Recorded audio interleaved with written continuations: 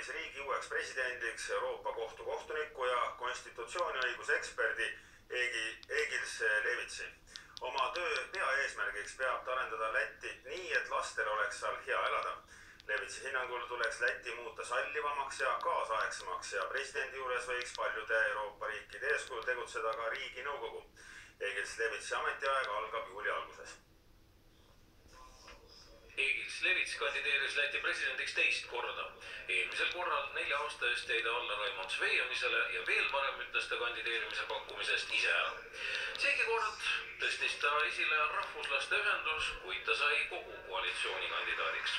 Kandidāts runā piecās valodās, no tām franču, angļu un vācu ir viņa ikdienas darba valoda. Otrakārt, tā ir augsta kompetence valsts lietās. Egils Levitsi kõrval kandideerisid täna presidendiks ka õiguskantsler Juris Jansons ja Seimi liige Tidzis Schmidt.